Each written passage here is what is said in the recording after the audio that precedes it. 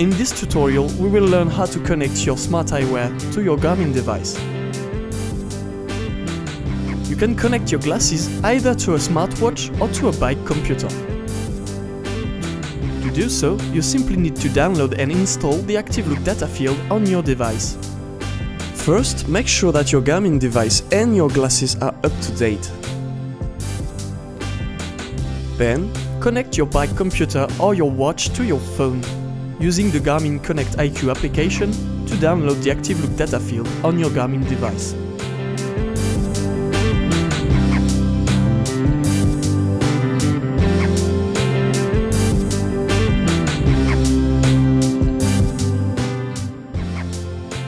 Once the ActiveLook data field is installed, add it to the data field screen of your device.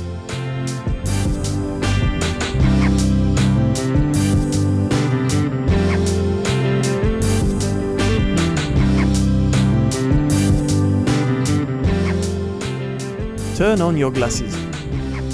They should automatically connect to your Garmin device.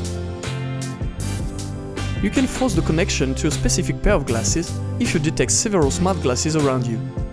To do so, in your Garmin Connect IQ application, in the third tab My Device, click on your data fields and open the ActiveLook data field page. In the settings, you must enter the name of your glasses, as it appears when you turn them on. Make sure you write the name correctly, otherwise your glasses will not be detected by your device. Once the connection is established, you can switch between screens by passing your hand in front of the gesture sensor of your smart eyewear. You can also choose which screens and data are displayed on your glasses.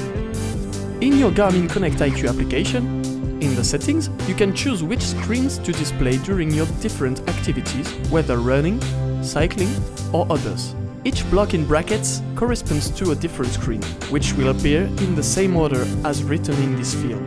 In the brackets, determine the order and type of data you want to display on the screen in your glasses.